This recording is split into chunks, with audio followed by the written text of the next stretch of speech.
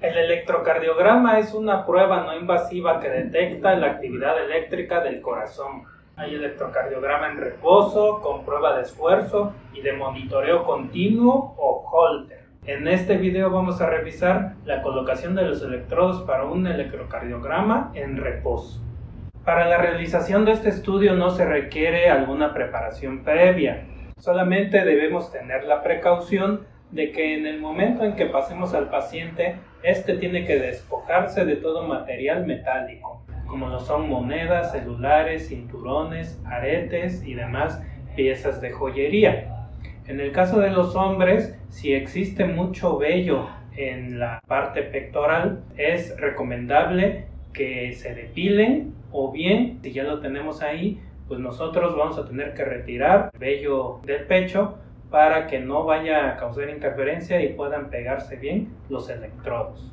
Vamos a explicar la adecuada colocación de las derivaciones precordiales y las derivaciones de extremidades para una adecuada toma de electrocardiograma colocamos gel conductor e identificamos el espacio intercostal número 4 de la línea paraesternal para colocar B1.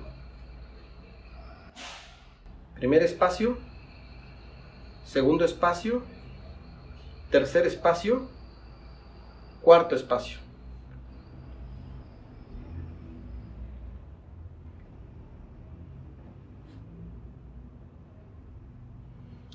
B2 se va a colocar en el cuarto espacio de la línea paraesternal del lado izquierdo.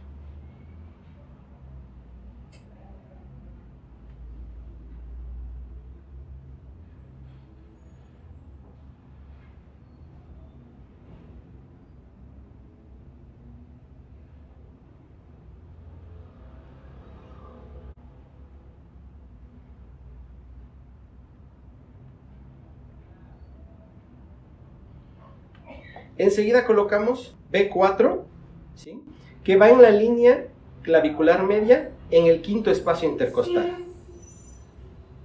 Normalmente abajo de la tetilla.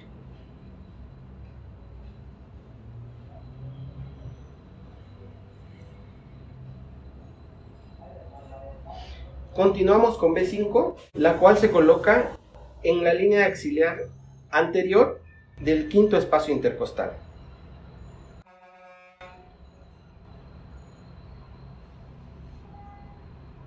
Continuamos con B6 y la colocamos en la línea axilar media del quinto espacio intercostal.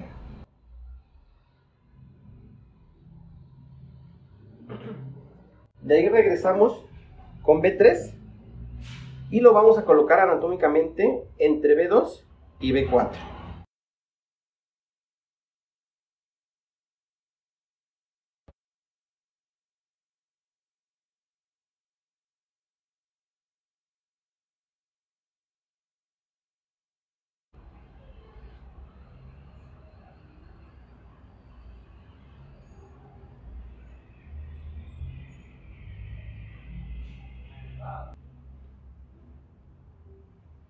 Debemos de tener cuidado de no colocar las derivaciones en las prominencias óseas, ya que si lo colocamos en las prominencias óseas no vamos a tener una adecuada conducción.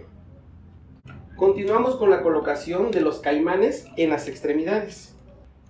Vamos a, a colocar RA en el brazo derecho.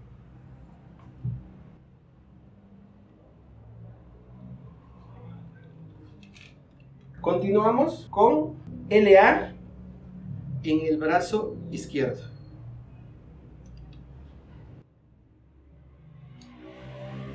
De ahí vamos a colocar RL en el pie derecho, que es la tierra. Y colocamos LL, por sus siglas en inglés, en el pie izquierdo.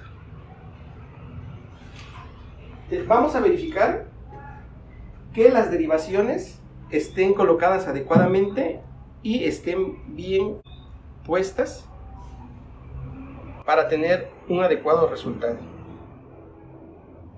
Debemos de verificar nuevamente.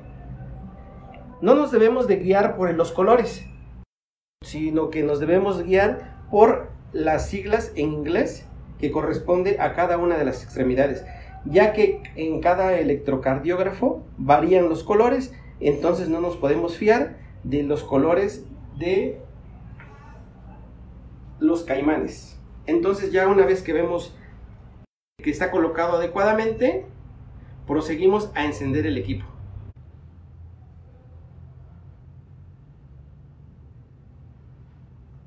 Ahí podemos ver que ya nos reporta la, la imagen gráfica de los estímulos eléctricos del corazón.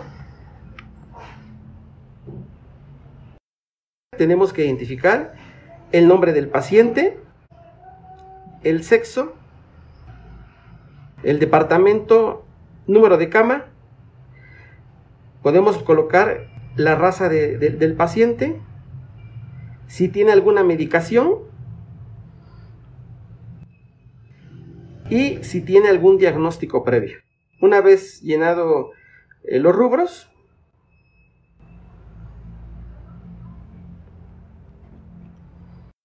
vemos que nos está marcando ya el, el, estudio y podemos ver también que está calibrado a una velocidad de 25 milímetros por milivolts así como a 10 milímetros también por milivolts a una velocidad de 25 milímetros por segundo. Y ahora podemos proceder a la impresión. Teniendo una imagen ya clara del estudio, podemos imprimir.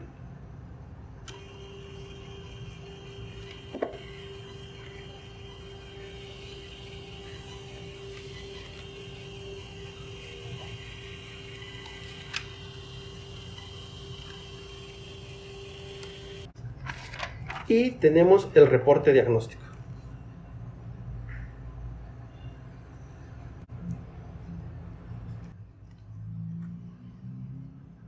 Es importante tomar adecuadamente el electrocardiograma con los pasos que se le dieron y una adecuada interpretación para el buen manejo y seguimiento del paciente.